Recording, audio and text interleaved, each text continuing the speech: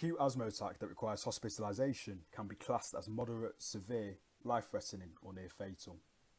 In a moderate asthma attack, the peak expiratory flow reading, or PEFR, will be 50 to 75% of the patient's best reading or predicted value based on their age and gender.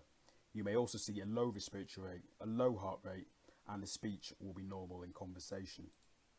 In a severe asthma attack, the PEFR will be 33 to 50%. The respiratory rate could be higher than 25, a heart rate could be higher than 110, and the patient could be struggling to speak in full sentences.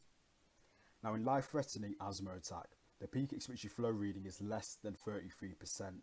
As well as the findings on a severe asthma attack, you may also notice oxygen saturation less than 92%, and arterial blood gas for partial pressure of oxygen will be less than 8 kilopascals, and you may notice worrying signs on exam such as a silent chest, cyanosis, poor respiratory effort, altered consciousness and exhaustion.